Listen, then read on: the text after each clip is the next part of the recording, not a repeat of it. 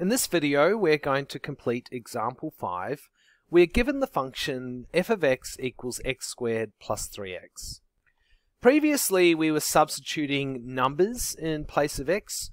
You'll notice that this time we're substituting pronumerals or even algebraic expressions in place of x. In this video, we're going to complete four questions. On this slide, you can see questions A and B, it's going to get a lot trickier on the next slide where we have questions C and D. Starting with question A, we're replacing x with the pronumeral n. So instead of x squared plus 3x, we're simply going to have n squared plus 3n. We have the exact same expression, we just have n instead of x. So let's now move on to question B. It helps if the original function was written above this. So the original function was f of x equals x squared plus 3x. So this time we're going to replace x with n minus 1. So instead of x squared, we're going to have n minus 1 squared. It's important that you put n minus 1 in brackets because you're squaring the whole expression n minus 1. We then have plus 3x so in place of the x after the 3, we're going to have n minus 1, once again in brackets, because we're multiplying 3 by the whole expression, n minus 1. I almost forgot to put the equal sign here. Now we've taken the first step and we've replaced x with n minus 1, but we were also asked to simplify this. So I'm going to start by expanding my brackets here. If I take n minus 1 and square it, it's the same as multiplying n minus 1 by itself. I can also expand this part of the expression. Positive 3 times n will give us plus 3n. And positive 3 times negative 1 will give us minus 3. I'm going to use the FOIL method to expand my two sets of brackets n times n will give me n squared. I then go n times minus 1, which will give me minus 1n. I then go minus 1 times n, which gives me minus 1n again. And then minus 1 times minus 1 gives me plus 1. I still have the plus 3n and the minus 3, so I'm just going to copy them down below. Moving on to the next step, we have n squared. Let's now group together some like terms. We've got minus 1n, minus 1n, and plus 3n. So minus 1, minus 1 is negative 2, and then plus 3 will give us plus 1. So plus 1n, and then we have our constants, the plus 1 and the minus 3. 1 minus 3 is negative 2. So we get minus 2. You might remember that we don't write 1 as a coefficient for a pronumeral, so we'll just take that away. We get n squared plus n minus 2. We've completed question B. Let's now move on to question C.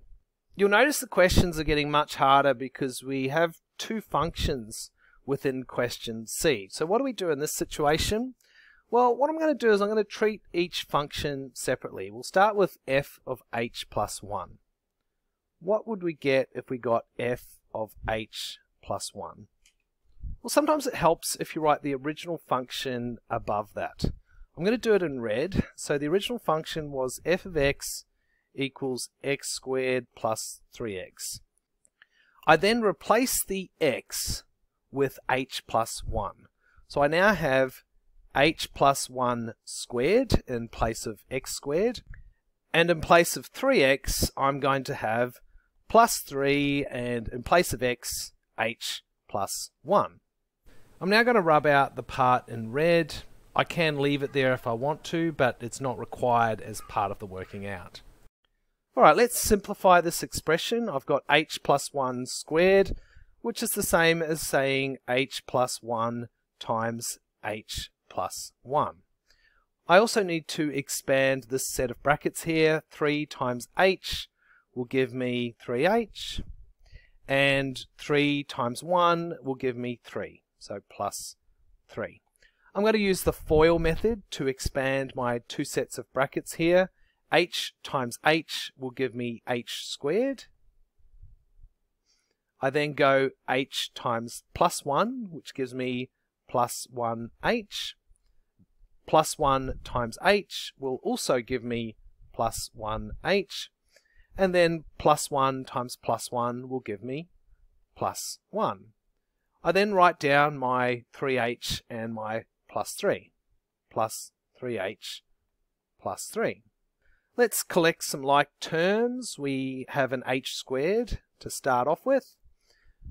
1h plus 1h is 2h plus 3h will give me 5h plus 5h. Looking at the constants, the plus 1 and the plus 3 will give me plus 4.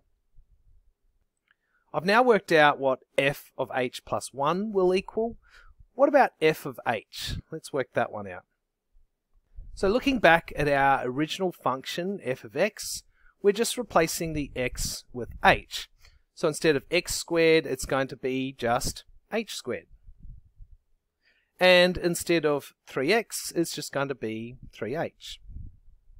Looking back at the original question, we have been asked to find f of h plus 1 minus f of h, and all of this is over 2. Now we know that f of h plus 1 is the same as h squared plus 5h plus 4. So we need to replace it with this. H squared plus 5h plus 4. We then need to subtract f of h. Now f of h is h squared plus 3h. And I need to subtract this whole expression, meaning it needs to be in brackets, like so. All of this needs to be over 2. Now this minus sign we see here needs to be applied to each term inside the brackets. It needs to be applied to the h squared as well as the plus 3h. So we're going to get h squared plus 5h plus 4 minus h squared and minus 3h. Remembering that this is all over 2. Now you might notice that we have an h squared and a minus h squared. That means that we can cancel these. Now we just collect some like terms. 5h minus 3h will give us 2h. We also have the plus 4. So plus 4, remembering that this is all over 2. Now I'm going to factorize the numerator here. When I factorize it, I get 2 bracket h plus 2. Let's check that. 2 times h is 2h, and 2 times 2 is 4. It's still over 2. And we can now do some cancelling. The 2's can cancel, leaving us with h plus 2. We now have a very nice simplified expression. We need to now move on to question D. You might have noticed we've run out of room, so I'm just going to start with a nice blank slide. Once again, I've got two different functions here, so I'll work them out separately and put them together at the end. So we'll start with f of x plus h. We'll work that one out. I'll put that here down at the left. And to help myself out, I'm going to take the original function here, f of x, and I'm going to write it above the function I'm trying to find. So f of x equals x squared plus 3x. So in place of x, I'm going to put x plus h. That means I'm going to have x plus h squared plus 3 times x plus h. All I've done is replaced the x with x plus h each time. I now want to expand and simplify. So if I have x plus h squared, I need to write it down twice. x plus h times x plus h. When I expand this set of brackets, 3 times x will give me 3x, so plus 3x, and 3 times h will give me 3h, plus 3h. I'm going to use the FOIL method here. x times x is x squared. x squared. x times h is xh, so plus xh. h times x is hx, or can be written as xh. So plus xh. Finally, h times h will give me h squared. I still have the 3x and the 3h, so I need to write that down below, 3, plus 3x plus 3h. Let's do some simplifying here. I can combine some like terms. xh plus xh will give me 2xh. So I'm going to have x squared plus 2xh plus h squared plus 3x plus 3h. Alright, next we need to find f of x minus h. What do we get when we do f of x minus h? Well, once again, I'm going to write the original function above this just to help me with the substitution. f of x equals x squared plus 3x. So in place of x, I need to write x minus h. So I'll start with x minus h in brackets squared and then in place of 3x I'm going to have 3 bracket x minus h. All I've done is replace the x with x minus h each time.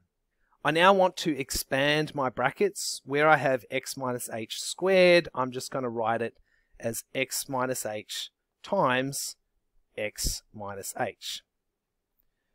I then have plus 3 times x, which gives me plus 3x and plus 3 times negative h will give me minus 3h.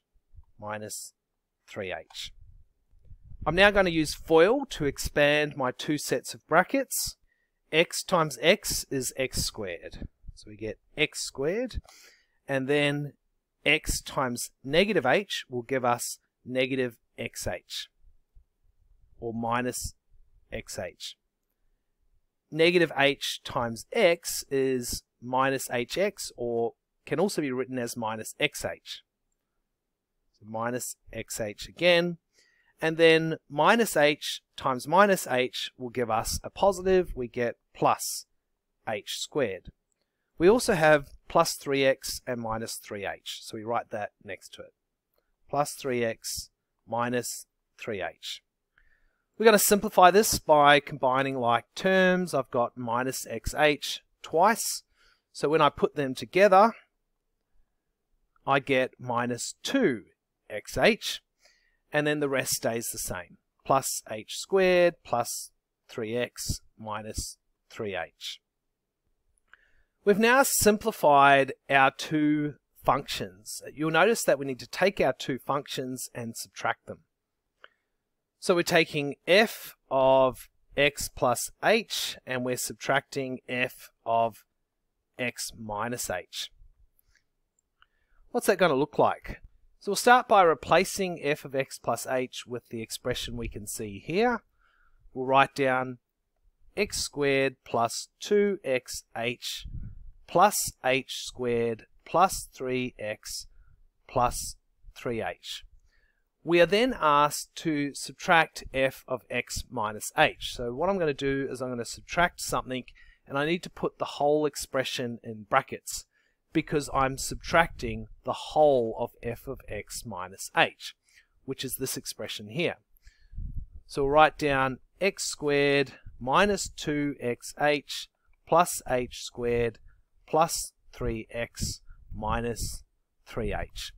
Now, whenever you subtract an expression in brackets, anything that was a minus becomes a plus, and anything that was a plus becomes a minus. So this will change to minus x squared plus 2xh minus h squared minus 3x plus 3h. The expression we can see here on the left will remain the same. We have x squared plus 2xh plus h squared plus 3x plus 3h. Is there anything here we can cancel? Well, we have x squared and minus x squared. They will cancel. We also have h squared and minus h squared. They will cancel as well. We also have plus 3x and minus 3x. They will cancel also. We can now collect some like terms. We have 2xh plus 2xh. That will give us 4xh. We also have plus 3h plus 3h. That will give us plus 6h. We now have a nice simplified expression. A lot of people like to take one more step and factorize this. Now you don't have to, but we'll just do it anyway. We would get 2h bracket 2x plus 3. And we'll double check that. 2h times 2x, 2 times 2 is 4, and then we get xh, and 2h times 3 will give us 6h. Anyway, we have finished example 5 now. Remember to read the description below for links to workbooklets that relate to this video.